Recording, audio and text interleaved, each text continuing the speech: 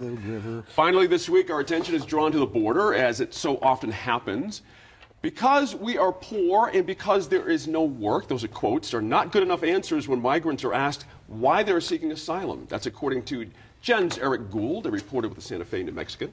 He writes, quote, what many don't know is that unless they can prove they've been persecuted in their home countries for specific reasons, their chances of migrating to the U.S. and obtaining asylum are extremely low. And, end quote. Harry, interesting uh, uh, point there. And I, I, think I see where the administration's going here. If they make it that hard, is the idea right. here to stem the flow? Is that is that what's what's that, going that, on? To here? the extent that there's a strategy, that seems right. to be the uh, strategy to communicate that if you uh, come here and you're not going to fit into the narrow categories of asylum, you're just simply not going to be admitted. Right. And this gets to uh, a lot of really, really significant uh, issues. So let's stipulate that being a victim of domestic violence or being uh, targeted by uh, gangs or many other things, say in Central America, mm -hmm. that's a terrible uh, life, and we can understand why people would want to flee and want to bring their uh, kids. Mm -hmm. The problem is the way asylum law works and the way the concept of asylum works generally, mm -hmm. it really focuses on political uh, you know, issues. So are you at odds with your uh, government? Are you being targeted because of your race or ethnicity? Right. So I'm moving to uh, Lebanon, which has not only a million and a half Syrian refugees, but a half million Palestinian refugees. Right. And when we think about asylum, we think about asylum in those sorts of uh, categories. Mm -hmm. The challenge here, I think, is how do we think about asylum? How do we think about it in the context of, of migration? Because lots and lots of people would want to come to the United States and given our uh, values and given the dire straits that many people are uh, living in, mm. what is the right thing to uh, do, bearing in mind that there's no way that the United States could possibly accept everybody who is living in a similar circumstance and would want to come here. Right. That's a tough one, Dan, isn't it? I mean, we want to uh, we want to be true to our values but at the same time, it is a numbers game as well. But is this the right way to go? What we're doing here? Well, I mean, you know, I mean, I think look, the the problem is everything that we talk about in politics. There seems to be a cause and effect, right? Mm-hmm. The you know, it's clear that our process for getting to become a documented immigrant in this country has been broken for a long time. I mean, if you want to come here and go to work, it could take five years I mean, it's insane to figure that, to, to, wait that long. The answer can't be, well, let's all rush the fence, right? The answer can't be, hey, the line to get in the concert's not going fast enough. Let's just run through the gates. So, you know, we seem to be in this conundrum, right? We have this broken system. Nobody wants to fix the system. Mm -hmm. We politicize everybody trying to come across. We have all these arguments. I mean, I, I, I harken back and look, I, I feel bad when I say this all the time I because I really don't dislike the guy on many levels. I, I don't, I'm not the biggest Trump supporter mm -hmm. on a lot of things. But I mean, I'm looking at even the stuff that got sent out to us. You know, we talk about the crisis at the border, and eight months ago, you know, everybody was telling them there's no crisis at the border. Trump made this up. Now, clearly, there's a crisis at the border. Yeah. So, I mean, enough. we've got to figure out a way to fix the problem. The, the problem is that those that we rely on to fix the problem in Congress and our leadership would much rather throw rocks and stones at each other right. than address the problem. We're doing nothing. And look, this stems back to when Ronald Reagan gave amnesty. I mean, we've had these problems, right. and we seem to just kind of let it build, build, build. When it gets to that explosive level, mm -hmm. we just blanket amnesty, let's start over again. Right. And so we've created a system that mm-hmm. encourages what's happening while not addressing the broken parts of the system. Interesting point there. In the news this week, Christina, make this even more problematic, the ACLU came out with that report saying there's been upwards of a thousand kids separated after the judge's order saying this administration needed to stop this. And my question always is, where is the backstop? When an administration breaks the rule, everybody just sort of goes, oh, okay, you know, there's nothing to be done about it. So we get all these migrant kids locked up now. It's, it's, it's insane. How, how, do we get out from under the kid thing, first of all? Is there something in our Congress that's not being done? Anything, oh, there's something. a lot in our Congress right. that remains undone.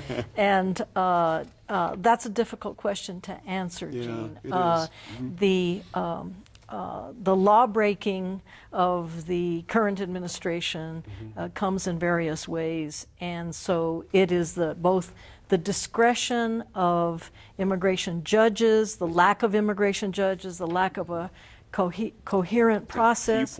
But also, right. the mm-hmm. goal of the administration is to depress the numbers mm-hmm. of asylum seekers or uh, uh, of people who are awarded asylum, but is also to depress the avenues for legal immigration.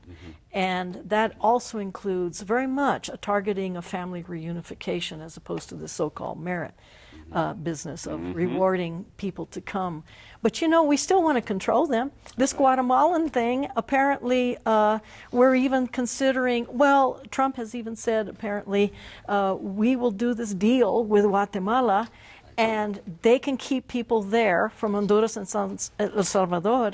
Uh, and, but at the same time, we can give Guatemalan farm workers access to our fields. Right. Well, you know, some years ago, it was called the Bracero program. and that's exactly what we did with Mexicans. That's right. We imported them to work in U.S. agriculture that institutionalized and routinized the phenomenon of Mexicans migrating to the United States, or it accelerated it. And we are still seeing evidence of that. Well, we want to control labor, we want to control the flow, but it is in very private, affluent interests in the United States. And so it is a very complicated issue. Mm-hmm. I would like to take just a second Please. to talk mm-hmm. about a symposium that mm-hmm. apparently was held. It was called Symposium by the Wall, and it brought Donald Trump Jr. and a cast of characters that are way on top of the high restrictionist Right. agenda. Tom Tancredo, uh, Chris Kobach, uh, a number of these Was, folks. Ban- was Bannon there? Bannon Yes. was Right, there, that's right. and Yeah. they went to Sunland Park Right, that's right. right outside of El Paso, poor area. We used to, growing up in El Paso, we used to picnic in Sunland Park, Right, right. near there.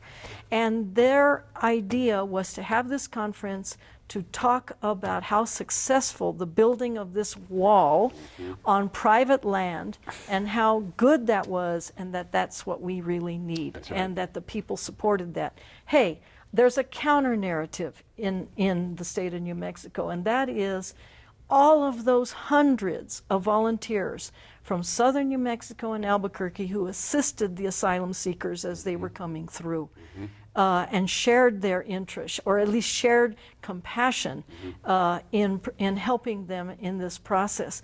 There was also a project that's very symbolic of two professors who designed a project to have pink seesaws actually Was penetrate the bollards Yeah. in the on the fence Yeah. and kids seesawing right. to suggest that there are still commonalities That's there's right. a common ground That's right. that's not what trump's defiance at the border is showing That's right. My God, but a minute left, we'll finish with you on this. The idea that's floating out there about a Marshall Plan for Central America. Raul Castro, the presidential candidate, has talked about this. The idea basically that folks need to get stood up on their feet if you really want to stem the tide of immigration. I mean, that's the only, only, only answer is to help these folks get you know their democracy figured out, all that. Is that the way to go here? It's, a lot of folks don't want to do it. You know what I mean? They don't want that kind of tax money going down there. But for you, is that the answer? Well, I think it's it's an option. I think it's something that we should consider. Um, Everybody's. I mean, again, this is almost like talking to edu- about education in New Mexico. I mean, it's a there's so many competing issues, so many competing competing interests and competing narratives. That's right. Um, uh, I guess uh, I, I guess I would I, I would say two things. One is that uh, you can't blame this one on the Indians. Uh, number one, and uh, there, there's always hope. Right.